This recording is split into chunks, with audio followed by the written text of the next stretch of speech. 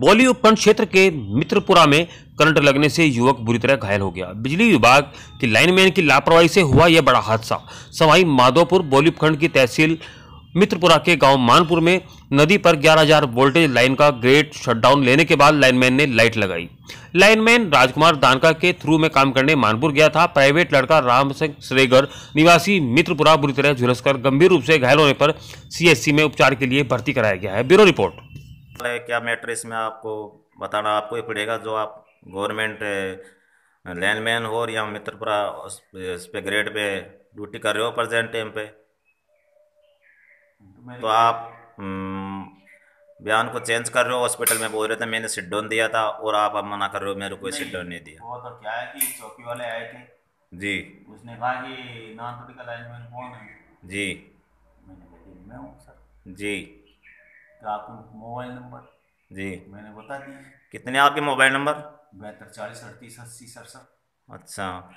निवासी कहाँ के हो? आप रहने वाले? जयपुर। जयपुर। नाम क्या है आपका? राजकुमार राणा पिताजी का नाम? किस्तूर चंद। किस्तूत चंद। कब से जॉब कर रहे हो आप मित्रपुरा ग्रेड पे? दो हज़ार।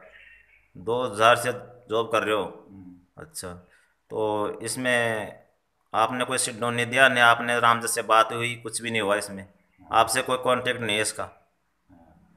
अच्छा तो आप अभी बोल रहे थे बोले सभी लैंडमैन के पास काम करता है उधर का। हाँ करता है सबके तो फिर आप कैसे मना कर रहे हो? मैं जानते नहीं हूँ उसको। आप अभी मना कर रहे थे मैं जानता ही नहीं उसको।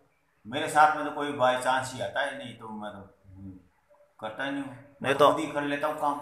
चलो ठीक है आपने सी एस हॉस्पिटल में ये बयान किया था कि मैंने रामदास लेगर को मैंने मानपुर फ़ील्ड में मैंने भेजा था वो सिट डाउन दे के भेजा था। उसके बाद भी मैं उसके बावजूद मैंने लाइट लगाई थी यहाँ से। तो आपने लगाई थी किसी और ने लाइट लगाई थी यहाँ? मेरे के ड्यूटी है जी एस एस पे तो किसकी ड्यूटी है? हैं? किसकी ड्यूटी है?